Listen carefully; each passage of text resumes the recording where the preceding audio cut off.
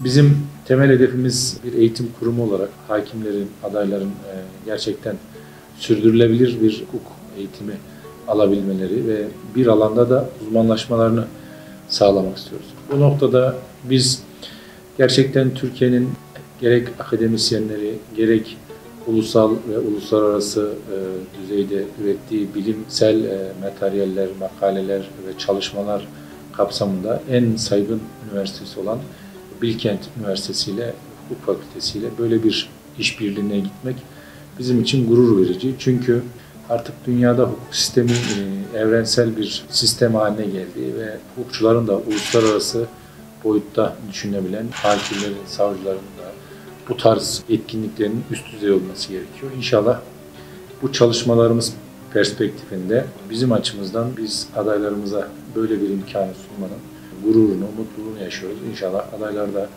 bunun kıymetini bilirler. Sizin üniversitenize yüksek lisans, doktora gibi konularda başvuru yaparlar ve bu imkandan faydalanırlar diyorum. Ben e, bu işbirliğini kabul ettiğiniz için gerek kıymetli rektörümüze, kıymetli dekanımıza ayrı ayrı teşekkür ediyorum.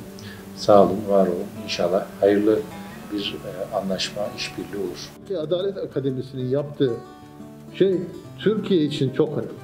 Dolayısıyla biz de bu Adalet Akademisi'nin çalışmalarına kendi çapımızda bir katkı vermekten büyük gurur duyuyoruz. Bizi de iyi bir üniversite olarak seçtiğiniz için çok teşekkür ediyoruz ve hukuk fakültemizin bu konuda en iyi olanı yapacağına eminim. Çok teşekkür ediyorum.